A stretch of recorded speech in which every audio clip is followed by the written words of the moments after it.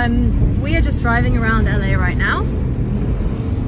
And uh, we wanted to let you guys know that there are still some tickets available this weekend on Saturday night for Sound, the label launch.